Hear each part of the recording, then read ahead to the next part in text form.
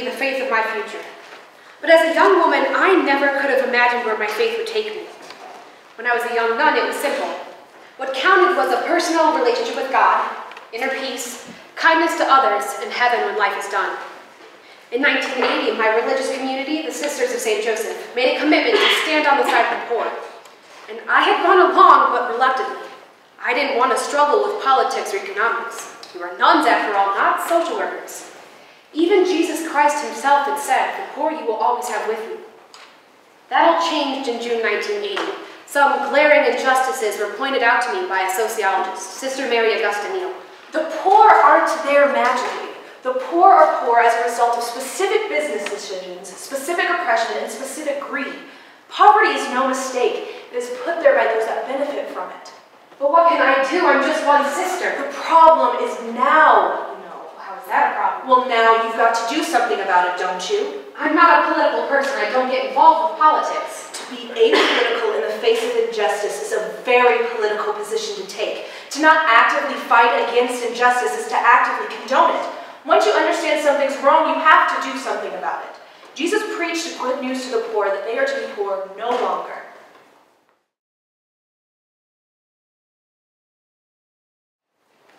I didn't know much about the death penalty at this point, but I did know enough to assume that anyone occupying a cell on Louisiana's death row did not come from money.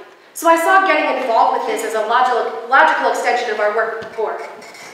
That evening, I wrote Matthew Poncelet, prisoner 18375 at Angola's prison death row. I told him about myself, my family, the neighborhood I lived in. As I lay in bed that evening, I heard gunshots. I wondered who had gotten sucked into the violence tonight in the St. Thomas Project. Who would be missing from school tomorrow? Which mother's wail would pierce the night? Two weeks later, a letter arrived. Dear Sister Prejean, thank you for writing to me. I'm writing to you from my home, my six by eight foot cell. I'm in here 23 hours a day. We don't work on death row. We're special here. They keep us away from the general population. We're the elite because we're gonna fry. It's hard not to get soft in this cell. I press my footlocker, lift it, try to get my muscles in shape, but it's hard not to get fat. Rice, potatoes, pancakes, and beans. Sometimes I feel like a sow on a farm that's being fattened up for Christmas slaughter. Remove any metal, coins, keys.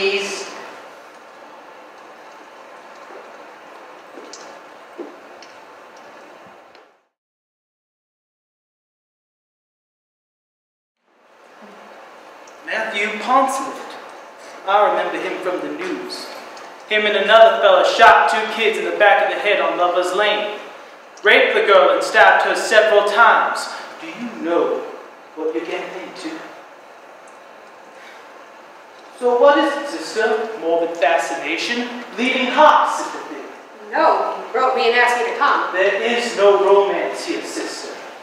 No Jimmy Cagney, I've been wrongfully accused if only I had somebody who believed in me nonsense. This is a bunch of con. They will take advantage of you every way they can. You must be very, very careful. Do you understand? Yes, Father. These men don't see many females. Wearing the habit would help instill respect. For you to flout authority will only encourage them to do the same.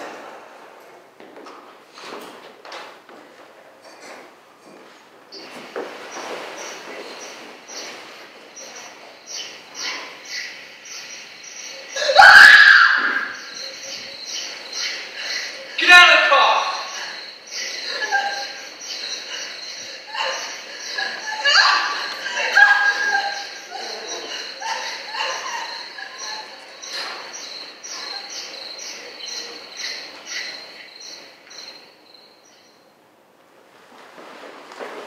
Woman on the tier! Wait here. They'll get your man for you. The visiting room. A heavy mesh screen separates visitors from the inmates. Matt enters.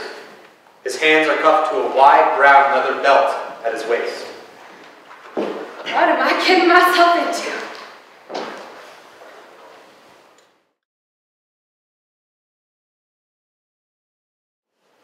Matt Poncelet's file was a grim and unimaginable trip through a terrible nightmare.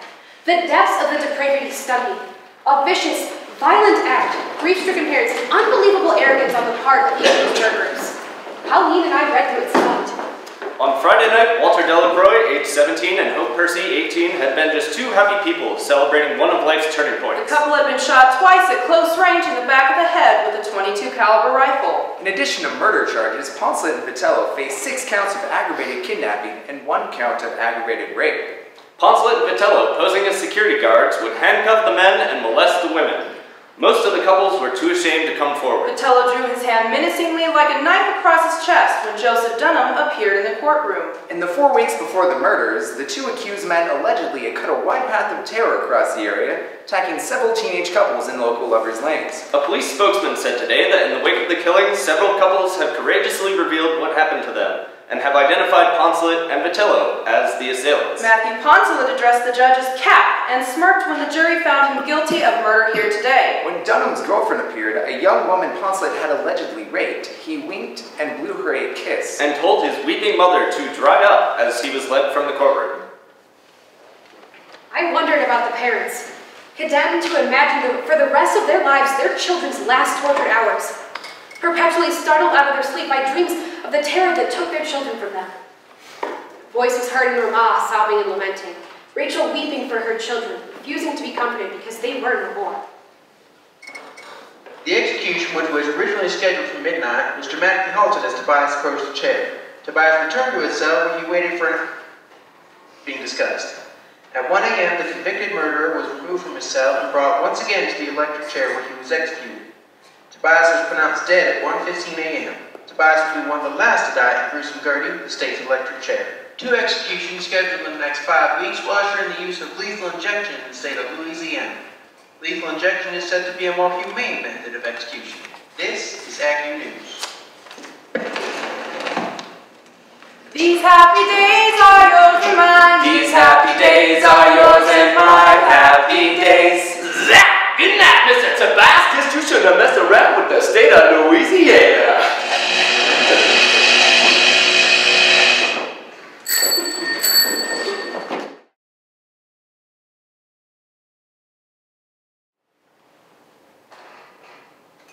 That's Madam six.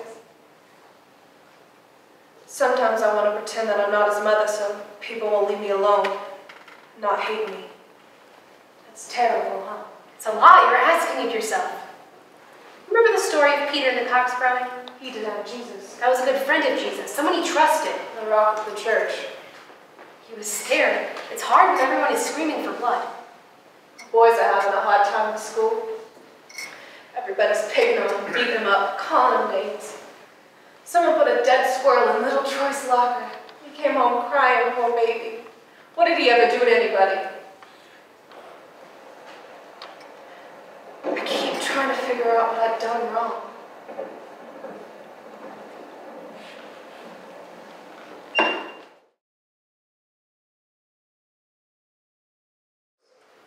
Ladies and gentlemen, why is the state called for the death penalty in the case of Matthew Poncelet?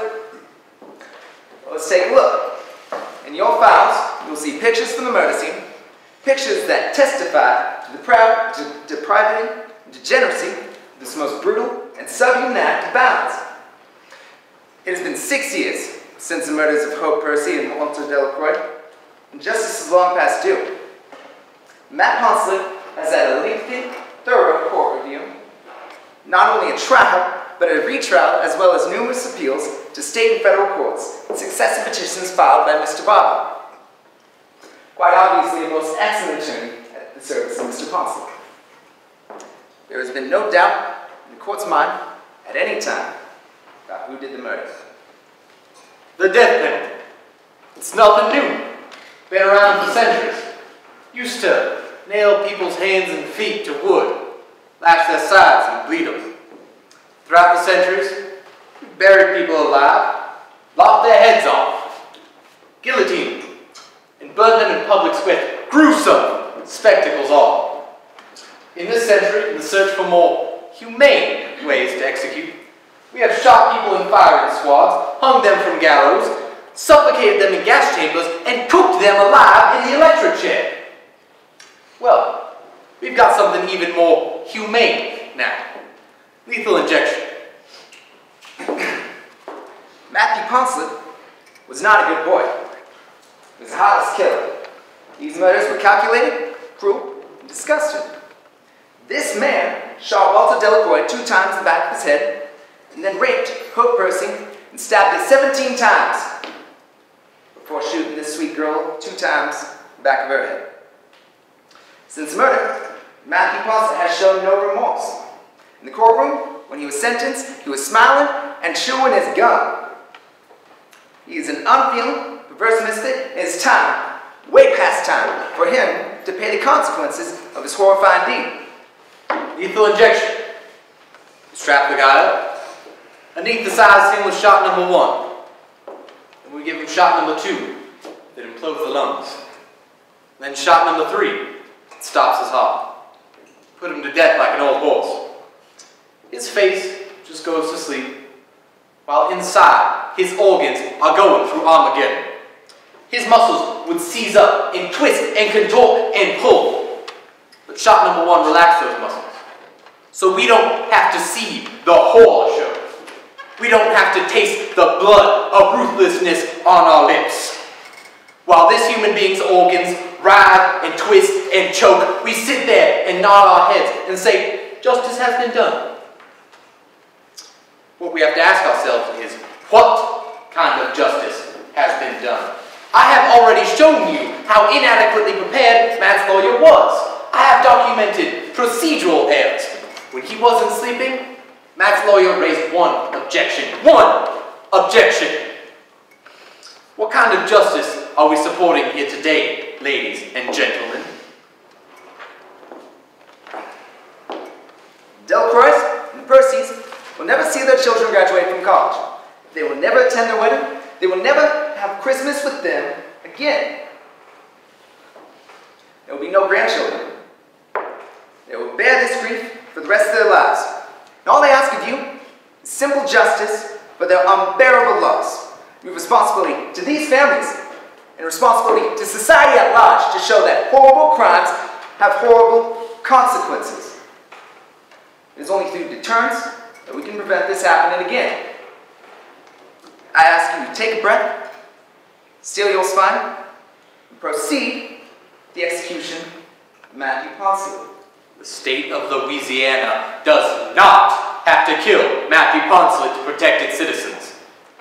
This man is locked away for the rest of his days in Angola prison. He is not getting out. We can protect society without imitating the very violence we seek to eliminate. Please, let us have dignity. Please, let us not be complicit in the butchery of another human life.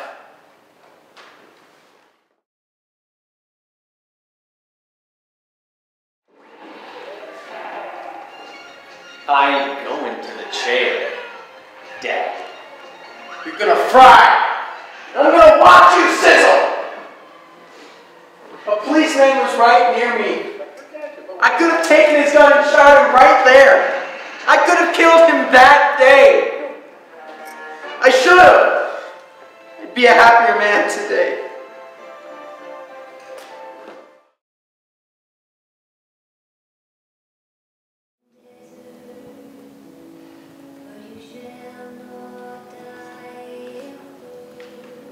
It's nice enough. I've been hearing some disturbing things about you. Such as? That you're too emotionally involved with Matthew Poncelet and unable to fulfill your function as spiritual advisor. What gives you that idea? You fainted in the death house and caused a lot of commotion for my personnel. Fainted out of hunger, not emotion.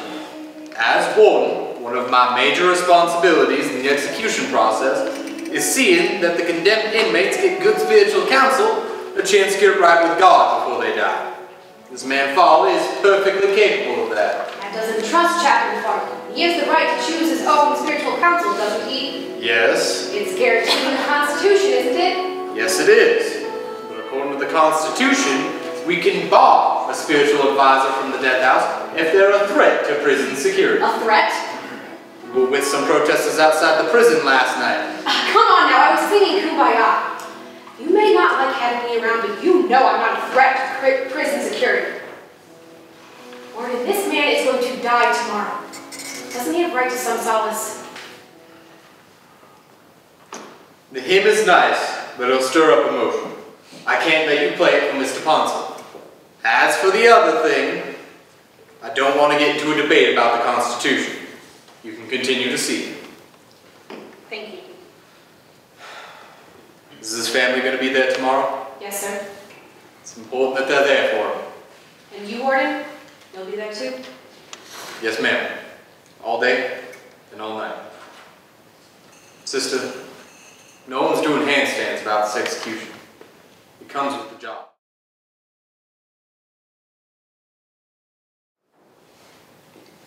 A couple of hours passed. Vast expanses of silence. Each quiet moment, I felt I was failing you. I talked about trivial things, anything to keep the silence away. The polygraph operator arrived at 10.30. Matt sits at a table with the polygraph operator. Any word from the Fifth Circuit? None yet. A good sign. They've had it a while now. Maybe that means they've found something substantive in the petition. I've got to go. All right. Tell me something, sister. What's it like you doing in a place like this? Shouldn't you be teaching children? Don't you know what this man's done? The kids he's killed? What he was involved in his evil. I don't condone it, I just don't see much sense in doing the same to him. Oh, you know what the Bible says, an eye for an eye. And you know that Jesus called for us to go beyond that kind of vengeance, not to pay back an eye for an eye, not to return hate for hate. I ain't gonna get it all in this Bible quote with a nudge, because I'm gonna lose. You know something? The Bible also calls for death as a punishment for adultery, prostitution, homosexuality, profaning the Sabbath, trespass upon sacred ground, and contempt of parents. Really? Yes, Prostitution. You sure about that? sure. The clock reads 2.15. Another hour passed and Matt's family arrived. The welcome sound of laughter fell on the death house. no, I can't believe that. She was only on the phone a few minutes, and there she was, falling for the old Matt charm. I just take back that phone. I'm trying to steal my gal, you dog.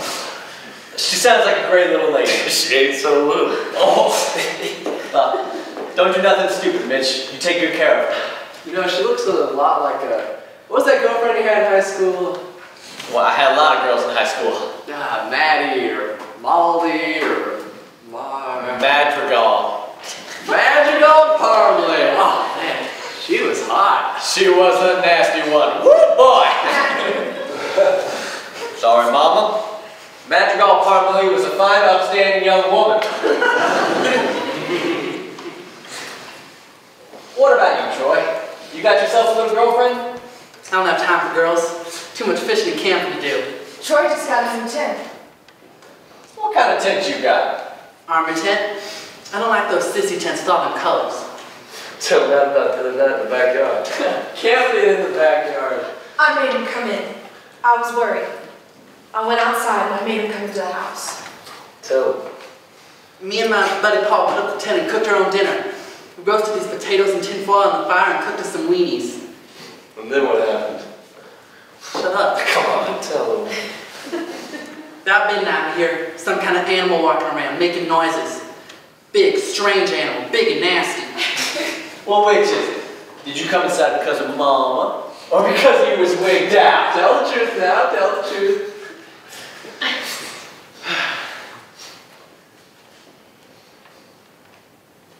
Some people have been asking about your death, when your funeral's gonna be, and I just, I get real angry and I tell them, he's not dead yet. Another hour passed. Interminable silence followed by recollections, family snapshots from a time of less trouble and heartache. Memories that momentarily lifted the dark cloud that hung over this room.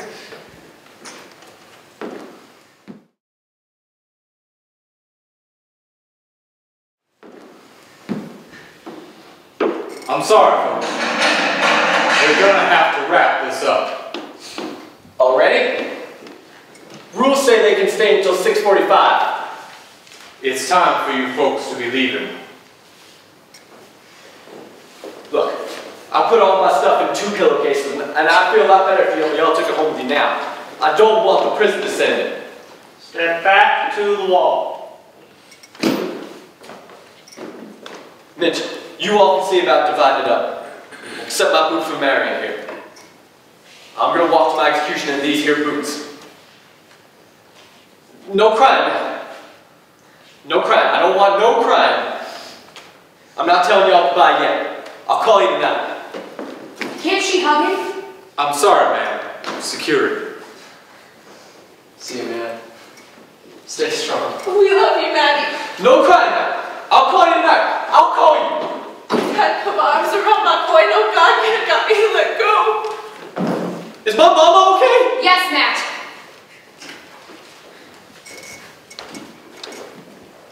Next hour was the longest hour I've ever experienced. Not a word was said, the silence making each moment linger.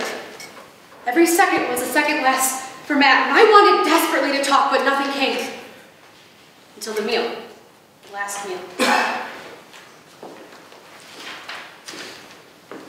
These shrimp are really good.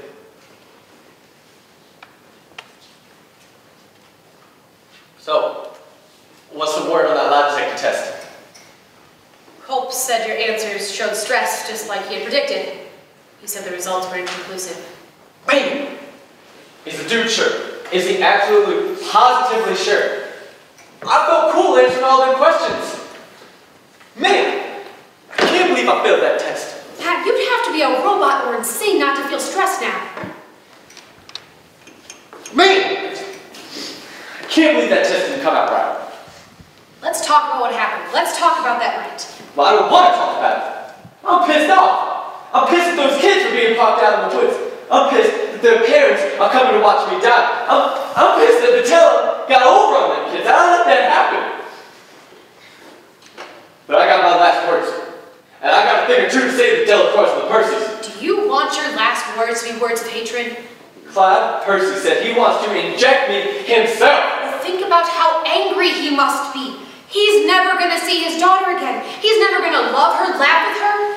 You've robbed these parents of so much, Matt. They've got nothing in their lives but sorrow, no joy. That's what you've given them. What possessed you to be in the woods that night?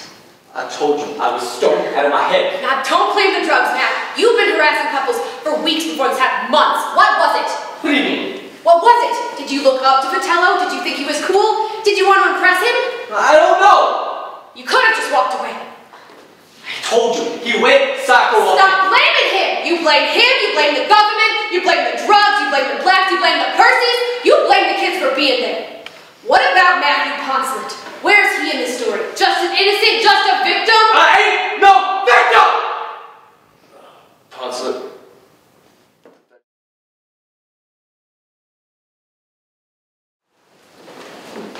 Any last words, Poncelet?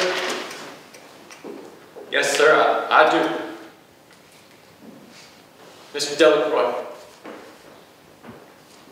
I don't want to leave this world with any hate in my heart. It was a terrible thing I've done in taking your son away from you. I ask for your forgiveness. How about us? Mr. and Mrs. Percy, I hope my death gives you some relief. I just want to say, I think killing is wrong. No matter who does it. Whether it's me, or, y'all, your government. The gurney adjusts. The nurse checks the needles. The warden nods to the executioner. A switch is flipped.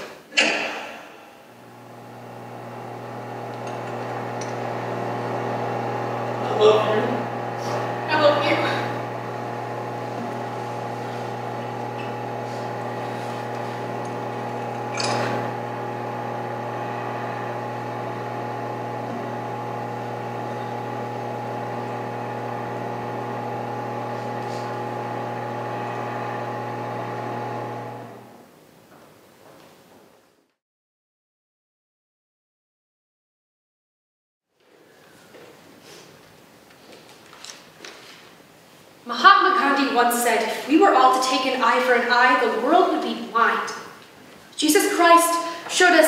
that the only way to stop the mad circle of violence and, and retribution was through love and reconciliation. Prejean opens a box. It is Matt's personal effects. She takes the boots out and sets them on the floor. Then a Bible. Love for everyone, even those that inflict pain. For the family of a victim, this is an emotion that seems unattainable, impossible. But perhaps there is redemption in reconciliation. Perhaps there is some peace in not letting the hatred overtake you and not letting those that have hurt you continue to after they're gone. If we reconcile, do our memories of our loved ones fade? Or do we honor our loved ones with a wish for everlasting peace, a holy place without violence, hatred, or revenge? Only time will tell. A week after we buried Matt, Mr. Delacroix asked me to meet him at a chapel near where the murders happened. Made it. I'm glad you're safe. You know those highways. It's good to see you, Mr. Delacroix. Er, Shall we get started? yes ma'am, let's do that.